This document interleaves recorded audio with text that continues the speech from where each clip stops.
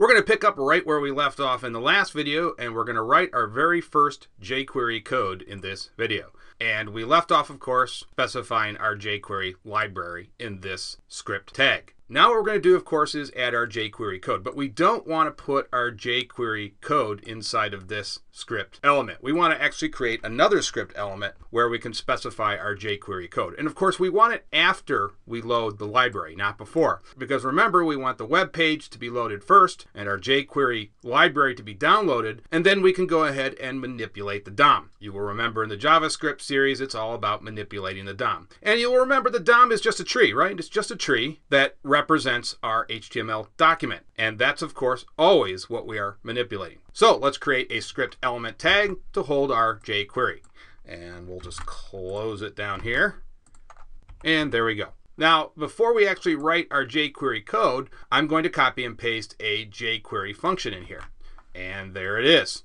It's called the ready function. Now this is acts more like a wrapper. We will put, from this point on, we will put all of our jQuery code inside this ready function that jQuery provides. Now all this does is it basically waits until the web page is actually downloaded before any of our jQuery code is executed. And that's nice because remember, we cannot manipulate the DOM until the DOM has been created. So that's why this jQuery ready function that jQuery provides is very nice to use. And like I said, you can just forget about this. You really don't have to remember anything else. The only thing you really have to remember is that we're going to put all of our jQuery code inside this function. And so that's all you need to know. So before we actually write our jQuery code, let's actually fire up the web page and see what it looks like.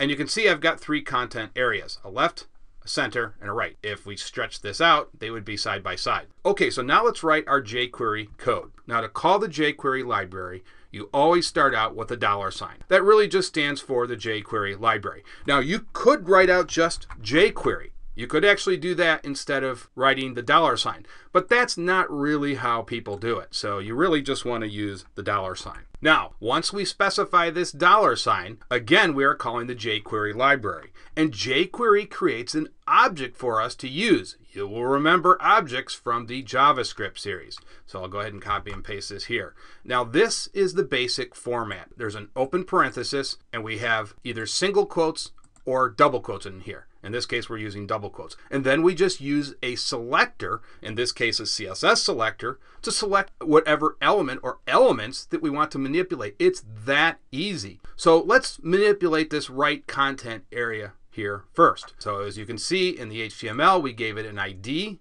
and we called it right. So you will remember from the CSS series, we always specify a pound sign for that type of selector and then we can just put in right. It's that simple. Now, you will remember from the JavaScript series, remember all the code we had to do? We, we had to use the get element by ID method, and then we had to assign it to a variable, which of course was an object. That's all done right here. Look how easy that is. We simply put in our selector and we've got our object. It's that easy. And so that's why jQuery at a fundamental level is so much easier to use than JavaScript. We can just use CSS selectors to select the elements that we want to manipulate. Now, you will remember in the JavaScript series, the dot allows us to access two main things from an object. You will remember there are properties and there are methods.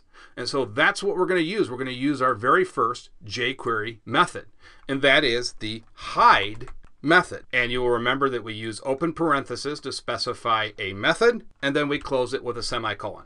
And so here is your very first jQuery method. So let's go ahead and save this. Now, if this works, our right content area now should disappear. Let's refresh the page, and it did. Take a look at that. Now, isn't that really amazing? Think about this. If we were doing JavaScript, we'd probably need at least three to four lines here to do all of this. Here, we're just doing this in one line. Isn't that amazing? And so you can see just how much easier jQuery is to use. Now, let's say we want to select another element. Let's select this div here with the center ID. Now, you'll remember in CSS to do that, we just put a comma, and then we can use another selector. And in this case, it's going to be pound center.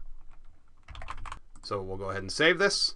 We'll refresh our page, and now the center element is now gone. Now, if we were doing this in JavaScript, we'd have to do a whole slew of things to get both of these elements selected. But here, it's just as simple as adding the correct CSS selectors. So you can see how nice jQuery is to use. And really, at its basic level, jQuery is all about knowing the selectors to use and learning the methods and properties. Once you do that, you have about 90% of jQuery down.